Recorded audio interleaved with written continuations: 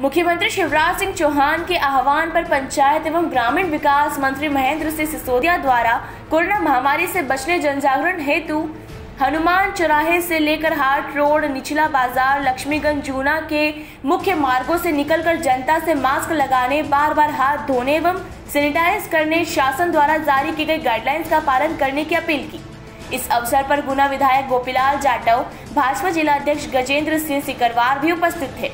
करीब चौबीस घंटे के अंदर एक लाख संक्रमित मरीज़ हुए हैं। इसने पिछला रिकॉर्ड पूरी तरह से ध्वस्त कर दिया है। अगर हम चाहते हैं कि हम स्वस्थ रहें, लॉकडाउन ना लगे और अपना परिवार और हमको स्वयं को सुरक्षित रख सके तो सारे जनमानस को एक ही अपील है। हमारे माननीय मुख्यमंत्री शिवराज सिंह जी की, माननीय प्रधानमंत्री नरेंद्र मोदी जी की और माननीय महाराज ज्योतिरादित्य सिंधिया जी की कि सब लोग मास्क इस्तेमाल करें सोशल डिस्टेंसिंग का पालन करें और अपने हाथों को सैनिटाइज करके चलते चले तो ये इससे हम सुरक्षित रह सकते हैं। आप पहले मंत्री है मध्य प्रदेश में किसने अनोखी पहल निकाली ये आज हमारे माननीय मुख्यमंत्री जी का बयान है।